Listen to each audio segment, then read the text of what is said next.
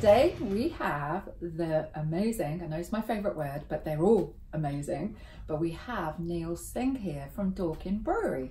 And actually, Neel has been part of the X-Forces family for quite a while and is also supporting others within the X-Forces community, but we're going to hear about it all from Neel. So Neel, over to you. When, when did we meet? I think it must have been probably nearly four years ago now, Ren. So um, I think it was probably about March uh, 2016 yeah. when I bought Dorking Brewery, and that's when you first made contact. Yeah, so uh, that's a great place to start. And uh, first of all, I just wanted to sort of mention that you're a reservist, and you've been a reservist for uh, a very long time now. So remind me, how long? So I'm coming up to 15 years for my sins, which feels like a remarkably long time for something that's meant to be a hobby. But it's something that's a really important part of my life, and I still continue to do at least 24 days a year with the Royal Naval Reserve. Which is fantastic. And you've been out twice now on tour? Yes, so I did 2011 out to Bahrain in the Middle East for six months, and I also went on HMS Bulwark for five months uh, in 2016 before I bought Dorking Brewery. Brilliant. So let's talk about Dorking Brewery because how did that come about? Because it was a sort of, it was a going concern, very yes. small. So tell us all about it. So, so, so, I guess in a nutshell, I in my civilian world, I've yeah. been working in uh, various account management roles. The last of which was with Philips Electronics, where I looked after supermarkets. And against that backdrop, the Navy said to me, "We're going to mobilise you again." And mm. I felt very strongly, if I went away again, uh, I wanted to come back and either start or buy my own small business. It's yeah. something I'd always wanted to do. And so I went away to sea on HMS Bulwark. I mm. came back and I looked for businesses for sale. I looked at a coffee company, I looked at a vending machine business, food business, and then somehow I stumbled across Dorking Brewery. I'm not a beer nerd. I drink more wine than beer, which upsets my team tremendously. And um, I bought Dorking Brewery as a going concern back in 2016 with one member of staff. Yeah. A very small brewery doing about a thousand litres a week. Right. So and um, so, what was the decision? Uh, what what was it that do you, was there one where there was okay? I'm going to have to now make a decision. This is the business I'm going to try for. Was there a particular point in time where you got to that? Yeah, definitely. I remember sitting very vividly in the mess down at 3 Commando Brigade at Plymouth, and I was looking at civilian jobs back in the profession I used to do, and there was a very senior position which would have meant commuting up to North London every day for two and a half hours. I just thought to myself, I cannot face doing this. There has to be another way.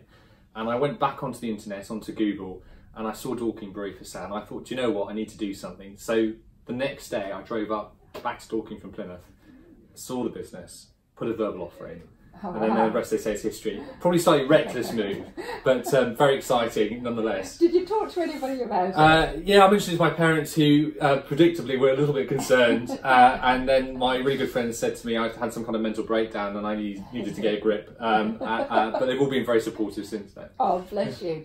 And um, that's when your um, uh, connection with X Forces Enterprise yes. really happened because I suppose that got to the point, well, actually, I want to have this brewery, yeah. but I need to pay for this brewery. Yes. So how did that go? Yeah, so I, I, th I think funding is really difficult when you're starting out. And I think there are two things for me that was very important. The first is accessible, affordable finance, yeah. which X Forces has through the Startup Loans community. Yeah.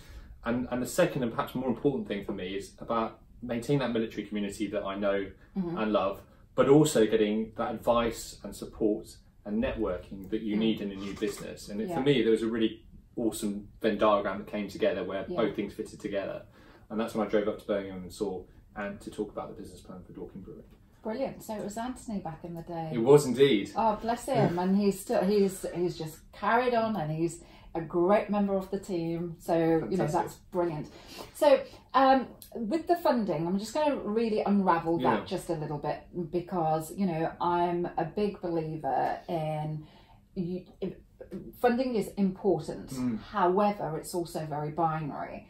And um, having funding is one thing, but actually, it's what you do with that funding, and also, more importantly, it's the ongoing support. Now, with your journey with X Forces, you mentioned yourself yeah. there. You know, you've been with us at least four years, and you've um, dipped in, you've dipped yes. out, you you know where we are.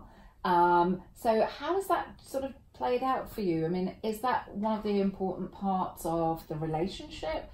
And do you think that's important for other armed forces contemplating self-employment? Yeah, definitely. In fact, I'd actually say it's probably the most important part. And, and the reason is with finance, there are lots of different ways you finance businesses, particularly yeah. as you grow. And there's not one solution that fits everything. Whether you're looking at asset finance, startup loans, yeah. personal money, investors, different solutions fit yeah. different people at different times, and most people use a portfolio of solutions. But what's really important is advice and support to carry on as you grow your journey. Yeah. And some of that stuff could be peer to peer stuff. So PJ and I, yeah. which are very well from the Ex Forces community, it could be speaking to other military people, or it could be coming and speaking to yourselves about a networking event that you're doing. So yeah. for me, that's the most important element is that support and the stabilisers to keep you on the right track. Yeah. So you I, I love talking about you actually neel because you one of the things that you have done and you've done it through you've yes you've we've helped support some of the network that's grown but you're a great networker yourself you know you haven't had to rely on ex-forces to do that. And you really did um, uh, tap into the third sector the military charities and things as well. How did that pan out? And who's been you know the most supportive in that so, so we've got a very strong relationship with the Royal Navy and Royal Marines charity. Um, one of the great things about that is we've launched a lager called Defaulters Lager. And for those of you that don't know what defaulters mean, it's a, it's a crime or misdemeanour where you're summoned in front of your commanding officer, often for being drunk. Right. So um, we give 5% of our trade price back to the charity to support servicemen, women and their families. And I'm pleased to say we're on a number of warships at the moment. Yeah. We supply a number of messes and we mm-hmm. supply some hotels and clubs in London with a lager. So yeah. for us, that's worked really well. And it's not about us necessarily making money on that product, mm-hmm. but it's a great opportunity for us to give a bit back, mm-hmm. have a bit of fun as well, yeah. and also get the military message out there. Okay, which is great, and I think it's quite important that mm. an organisation, I think any organisation, to be honest, there is the ability that they get to a point where they're able to do something for society. It's a natural fit when an ex forces enterprise business comes along and says they're helping charity X, Y, and Z, yeah. which happens to be in the military as well. So I can see, you know, why that would resonate so so much with you. I'm going to take it to the competency framework yeah. of running your own business, and you know, if we just look at handfuls, um, planning, um, marketing, business development, mm. product, making yeah. the product, you know, also managing people, HR. I mean, out of all of the business uh, elements that uh, are involved, what's your favourite and what are the challenging ones? Oh, goodness me. So, uh, I think my fa- uh, your favourites change depending on what day it is. I do enjoy the marketing and the design work when it goes well. Uh, the most challenging is always finance, and that's yeah. the hardest thing. And it's almost as if you do too well, your cash flow is tough. If you don't do well enough, your cash flow is tough. Yeah. And a growing business has lots of challenges, and I think that realization that you're not going to be good at everything, and you need to get advice is really important. And at different stages of your journey, different yeah. things become more challenging. Yeah. So um, I think it, I think it's always a juggling act. Yeah and you seem to cope with that. So depends means... what day you catch me, to be honest, and what time of the day you catch me. But um, but I, yeah. I reckon there's part of that is your network, and you're able to sort of lean on some good um, talent to be able to support you when you need it. You know, and they say that, that that's the power of the network. So I'm assuming yeah, um, Yeah, definitely. And I think one of the things that the military is very good at teaching you is that you are working in teams where you are not the subject matter expert, and mm-hmm. you have to rely on those teams, and you take advice and you make a decision based yeah. on the experts telling you information. Yeah. And sometimes there is not an easy path to work mm-hmm. out how you're going to get there.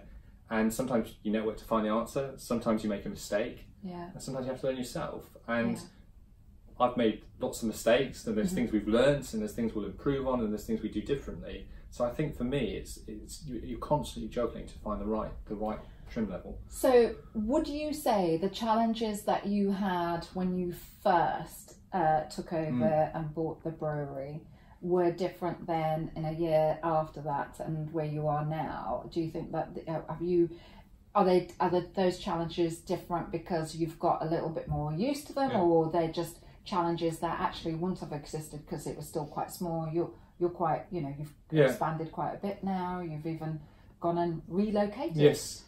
So I I, I think for me um, the, the, the, the challenges are sometimes the same um, but they're bigger.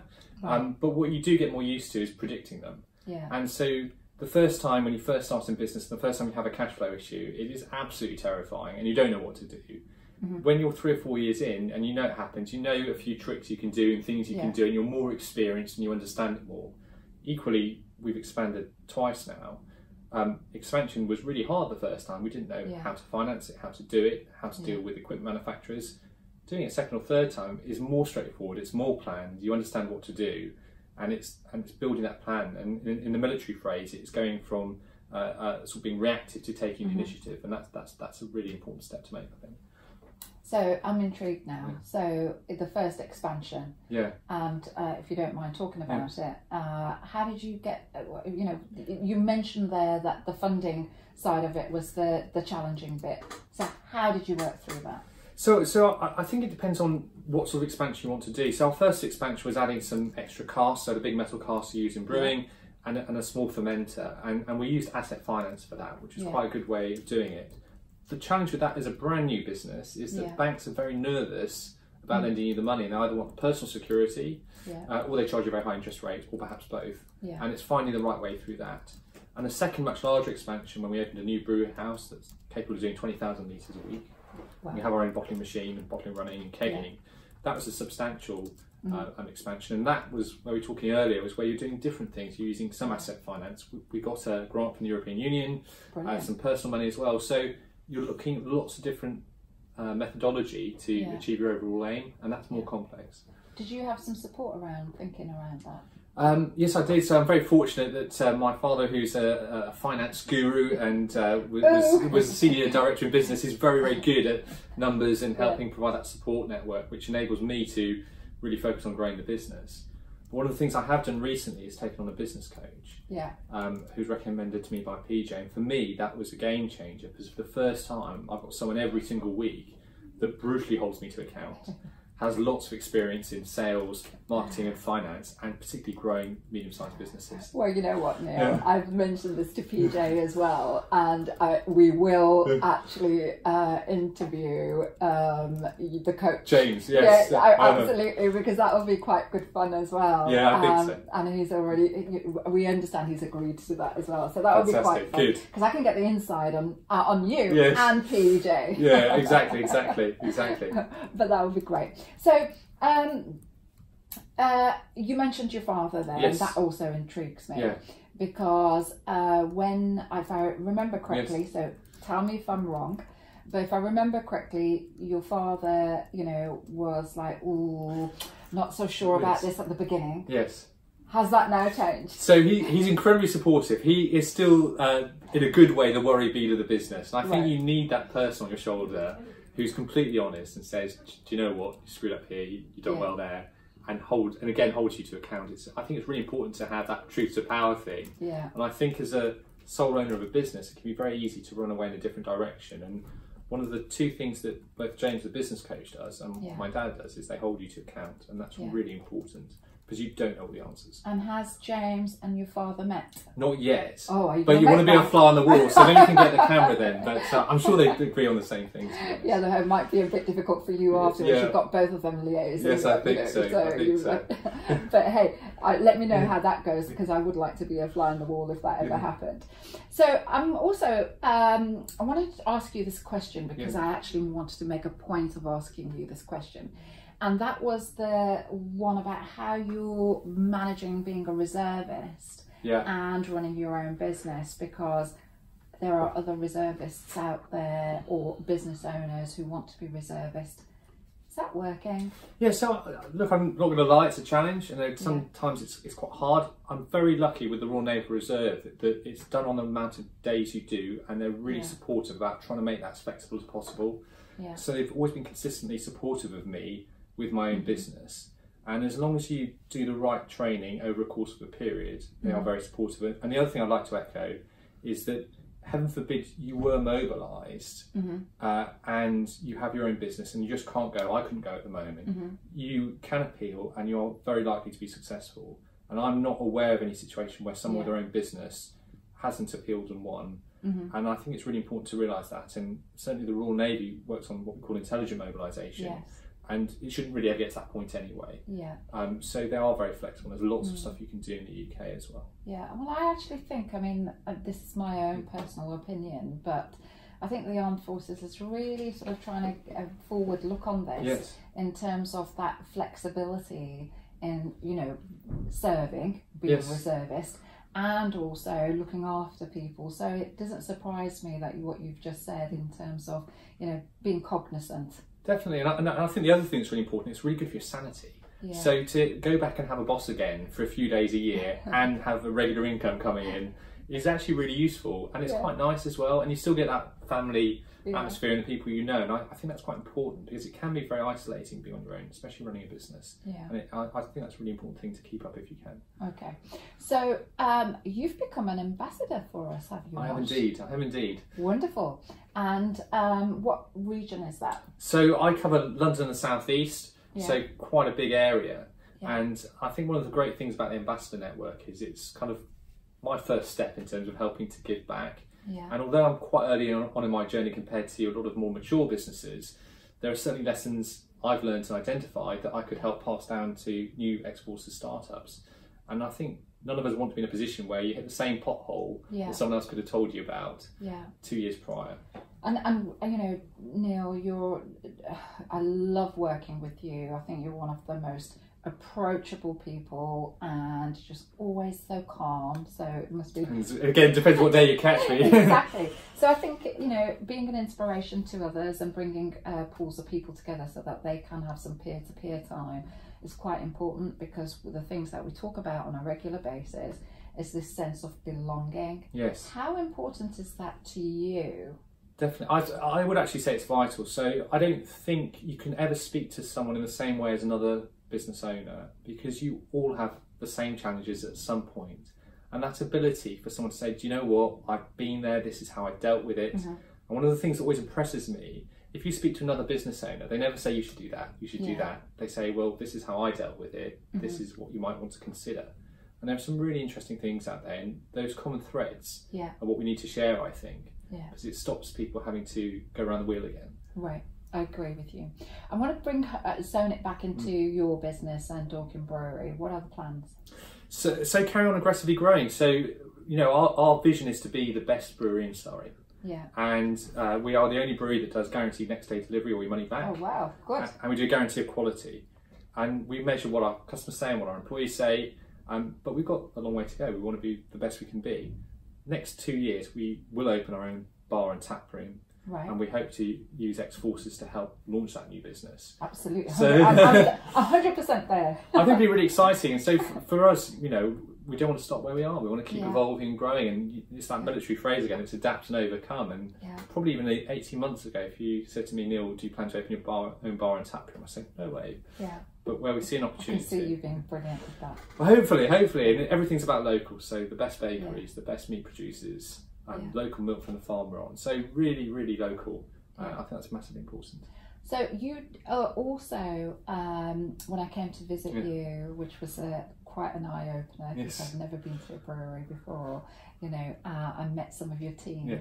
Um, you have quite an interesting way that you work with your team, mm. and I walked away from that. You know, probably actually, if I'd be really honest about it, because it's just uh, reminded me is that I've got to a point where I've introduced a bit more flexibility and working, um, you know, without micromanaging yeah. and all that sort of good stuff. Whereas before, it would be a case of, yeah, we're all in at the same time, we're all sort of going at the same time, and it's quite uniform. Mm.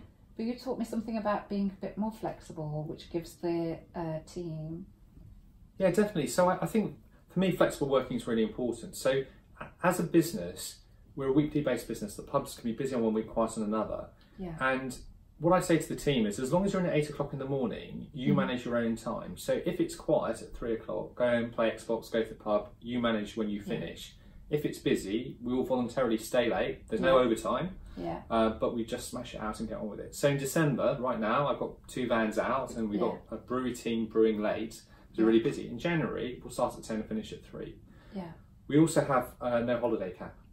People can take. That's what I found. I'm like, wow, how did you do that? so, so, so people can take uh, as much holiday as they want, but we do have, and it goes back to our values. So I recruit based on values. Three values: be kind, take ownership, get things done.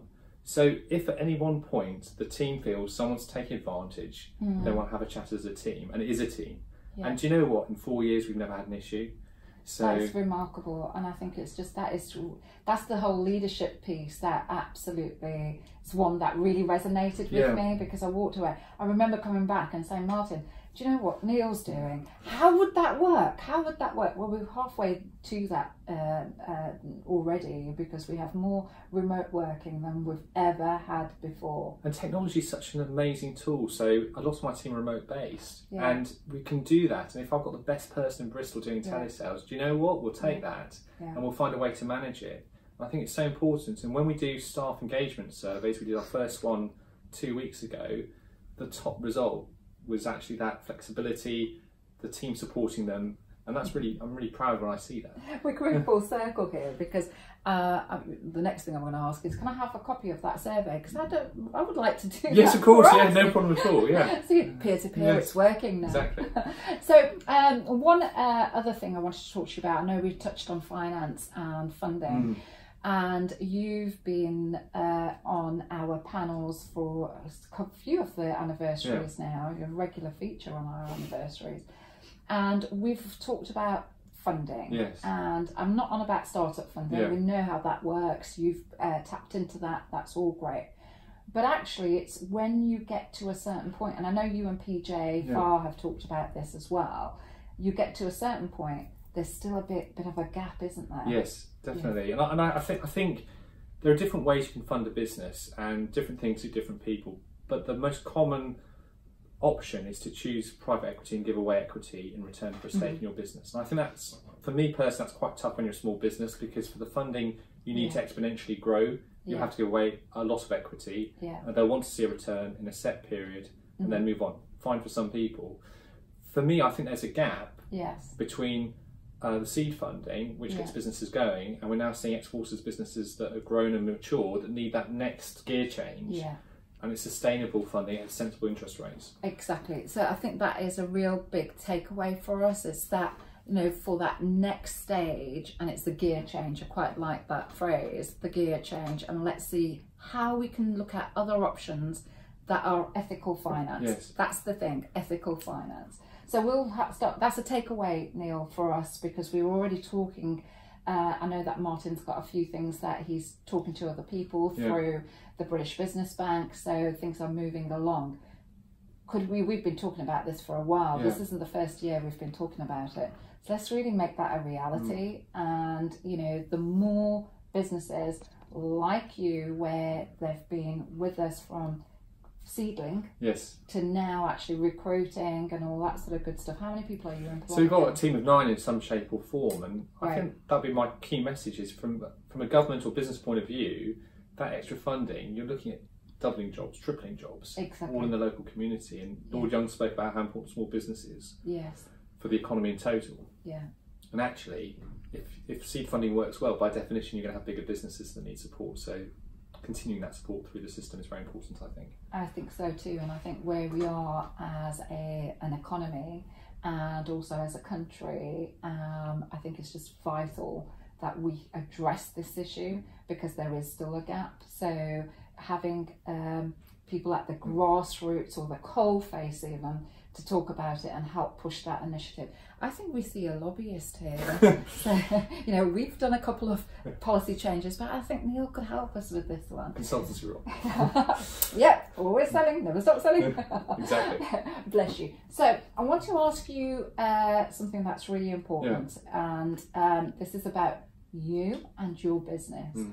But if we had a magic wand, Yeah. and also getting this right out there, what would be either, you know, what would be the thing that would make a difference to you, or personally or professionally? What would that be? So, I think given the stage we're at at the moment, I'm going to be greedy and say two things. Yeah, please So, do. so the first is sustainable, ethical finance for businesses that aren't fully mature yeah, but are growing fast. And Yeah. and my observation is I don't think the high street banks are set up for that. yeah, Um, and the second thing is that mentorship and support that goes Mhm. past year two. Yeah. And whether that's peer to peer, it's Yeah. mentorship, coaching, or perhaps a hybrid. Yeah. I, I use all three. Yeah. Um, I think remains to be seen, but I, I think that's really important because you can't do one without the other. Yeah. If you've got the finance, you have to have the support network. Yeah. If you have the support network, you've got to have the finance. I, I agree with you, and I think therein lies a really good ask because not only will that support Neel and his business, and you do make a proactive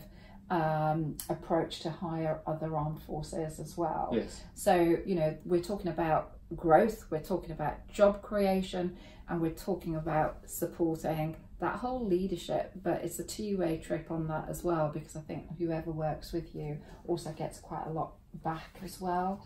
Uh, so, I, I want to help with this. I want to help and get that message out and start to put maybe even a little steering group together, which you would need to be a focal point No- on no problem at all. because not only will that help Dorking Brewery, but actually it will help others like Neel, uh, who is pioneering this step change. What does that sound like? No, that sounds great to me, and I think if you can nail that, I think that's a very exciting future. There's no about When, when, when? Yeah, exactly. Let's make it Yes. happen.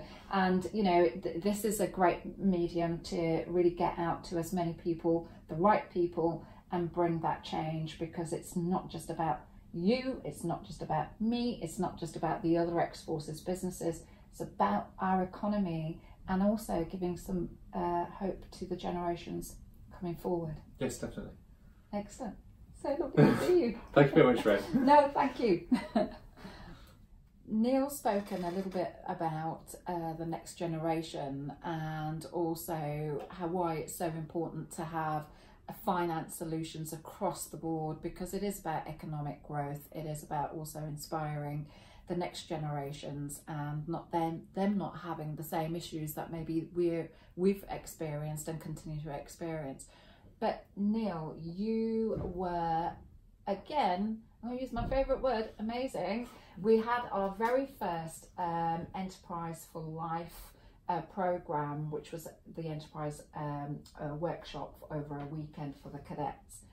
What is your thoughts about um, cadets having, or even young people, full stop, having enterprise skills? Why would you think that's important? But you did a brilliant keynote speech for us. Yeah, so I, I think for anybody to learn about business and financial literacy, literacy is really important. And I think where we can help is if we have cadets or young people doing Young Enterprise or the Enterprise program that X Forces run, Mm. we can support them from a business point of view, Yeah, come and do work experience with us, come and understand how a business works. yeah, But equally, it doesn't matter what you do in life, you have to have those key skills. And we spoke a little bit earlier, I find it incredible that everyone's learning algebra when people don't know how a mortgage works or Yeah. how a business loan works or how cash flow works. exactly And that. Yeah. In my view, those are more important skills. Yeah, and um, I'll tell you one thing that you won't have because we haven't Mm. uh, met each other for a, a couple of months now.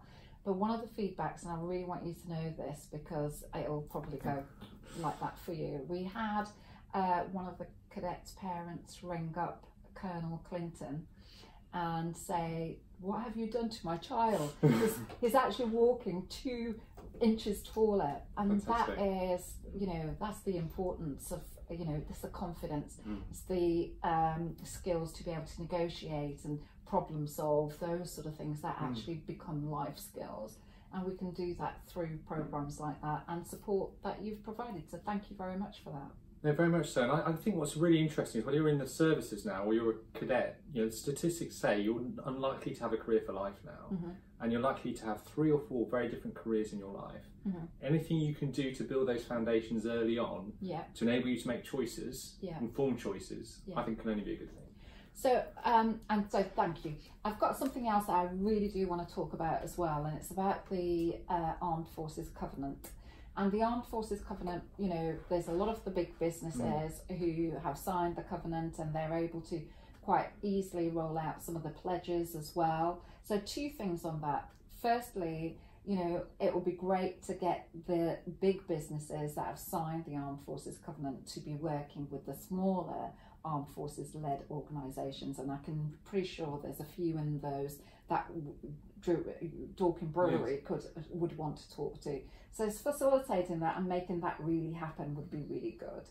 And the other part of the question is that how do we uh, enable and support small businesses to understand what the uh, covenant is all about and also sign up because you've signed up, haven't you? Yeah, and I, I, I think, you know, as, as someone who's still serving as a reservist, I, I think it's really important that we sign the Armed Forces Covenant. And if we take on military people, they'll get Yeah. the same benefits as, as any other bronze or silver Yeah. signatory would do. Where I think there's a disconnect Yeah. is those large organisations that have signed, Mm.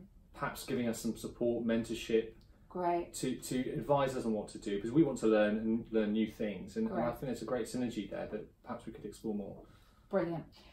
Funnily enough, uh, the Gold Alumni Association, which is the gold um, level uh, covenants uh, employment Yeah. recognition scheme, um, have spoken about mentorship from those groups, big businesses, to be able to support others as well. So why don't I actually hold that to account and see who would be prepared to do that for Thank you? you. That would Because I didn't know that was going to happen, but I do know that we've already spoken about it on several occasions at the Gold Alumni Association. So I'm going to speak to the chief uh, executive. His name is Neil. Great, good name. And he actually calls himself Jacko. So Jacko, if you're listening, I'll make sure you. I'll, I'll send you the link to this one. Let's get Neel sorted out with um, a brilliant uh, Gold Alumni uh, Covenant um, employer recognition scheme, individual organisation, and get that cracking Thank you, because that should be quite easy. That one. No, that'd be really great. Thank you very much. You're welcome.